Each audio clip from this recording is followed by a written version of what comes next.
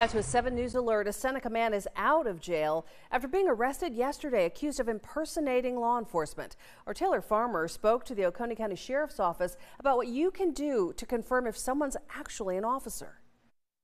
The Oconee County Sheriff's Office say they are urging the public to be aware of those who may be impersonating a law enforcement officer. This comes after 40-year-old Andrew Elrod was booked into the Oconee County Detention Center. The Sheriff's Office says Elrod presented a fake badge to witnesses at the scene of an accident. In this day and age, uh, integrity is such a huge part of, of what we do and always has been.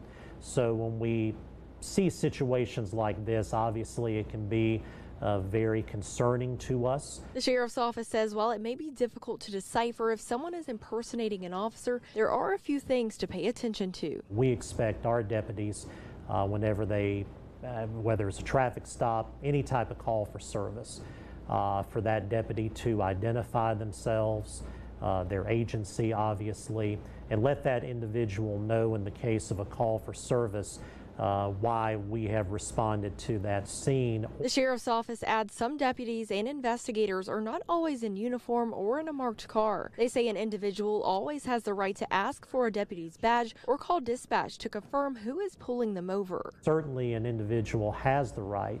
Uh, to ask for identification and for that deputy to show them their badge and we have absolutely no problems with uh, anybody that we come in contact with, especially in situations with plain clothes. Impersonating a law enforcement officer is a Class C misdemeanor in South Carolina. It could result into a year of prison or up to a fine of $500.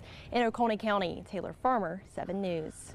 So if you've had a similar encounter with Elrod or anyone else impersonating law enforcement, you're asked to contact your sheriff's office.